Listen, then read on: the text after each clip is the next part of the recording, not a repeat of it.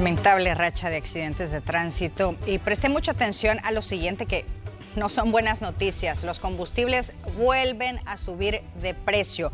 Hablamos de alzas de hasta 21 centavos. El especial incrementa 19 centavos en la zona central, o sea que usted debería de estar pagando 4 dólares con 21 centavos por el precio del galón. La occidental, en la zona occidental también sube 19 en la super Igual en la zona oriental, ahí tenemos los precios de referencia de los combustibles, lo que usted debería de estar pagando por el galón, 4.21 en la zona central, 4.22 en el occidente y 4.25 en la zona oriental. En cuanto a la regular, 17 centavos es el incremento, 4 dólares con 7 deberá de estar pagando por el galón de combustible en la zona central, 4,8 en la zona occidental y 4,11 en la zona oriental. El diésel, el diésel aumenta 21 centavos, ahí tenemos los precios en pantalla, 3,85 en la zona central, 3,86 en la zona occidental y 3,89 es lo que usted deberá de estar pagando en la zona oriental del país. Recuerde que estos son precios de referencia de los combustibles.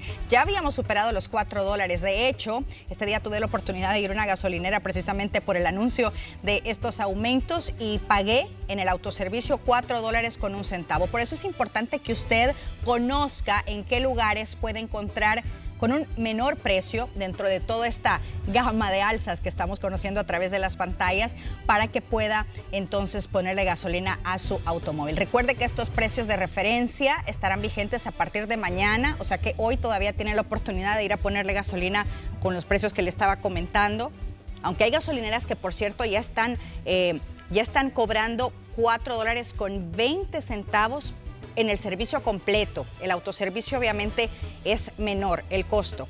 Pero como les repito, estos precios vigentes a partir de mañana y por los próximos 15 días, es decir, hasta el 21 de febrero. Y otro dato importante sobre este precio de referencia de los combustibles. Esto no es escrito en piedra, ¿ok?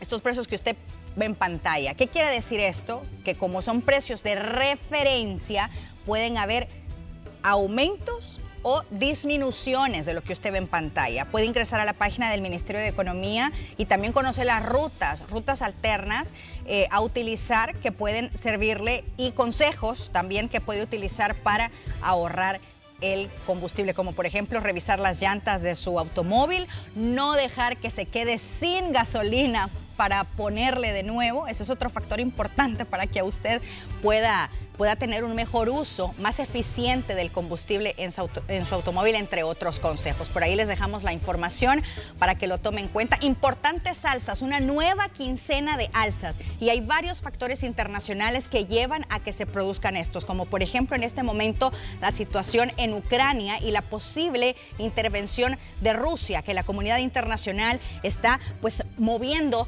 eh, todos los hilos para que esto no suceda. Estos conflictos, como les decía, entre Ucrania y Rusia, que sigue afectando los precios del petróleo. Por eso es importante seguir estas noticias. Y también el plan gradual de aumento de producción de la Organización de los Países, obviamente exportadores de petróleo, que dicen ellos que no cubren la demanda y la poca producción de petróleo en los Estados Unidos por las temperaturas frías. Así que nuevos aumentos en los precios de los combustibles para los próximos 15 días.